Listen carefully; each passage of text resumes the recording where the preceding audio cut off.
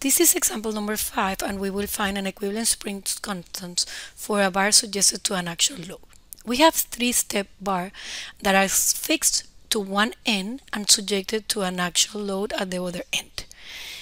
Uh, we have three bars and each bar has a length i so bar 1 has length 1 bar 2 has length 2 and bar 3 has length 3 and they have cross-sectional area A1, A2, and A3. They are all the same material, therefore the Young modulus for all of them is the same. So we want to find the equivalent constant in the axial direction.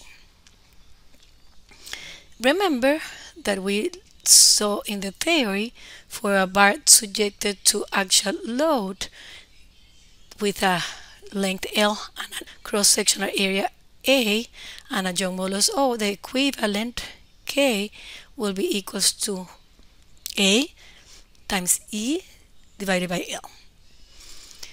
Please look at the theory because we did an example to uh, deduct that equation. Since we have three bars, one following the next one, we will have a system equivalent as if we would have three spring in series and we want to find the equivalent constant for those three springs in series.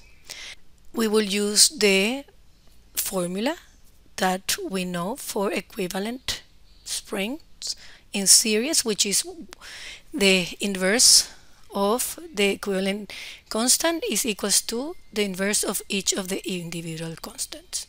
And then we can take out the Young modulus because we have the same material. And then we have L1 over A1, L2 over A2, and L3 over A3.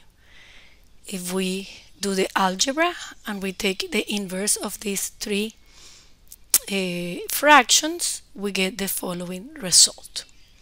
E times the three areas, A1, A2, and A3, divided by the three terms, L1, A2, A3 plus L2, A1, A3 plus L3, A1, A2. And this is the equivalent spring constant for a bar suggested to axial load.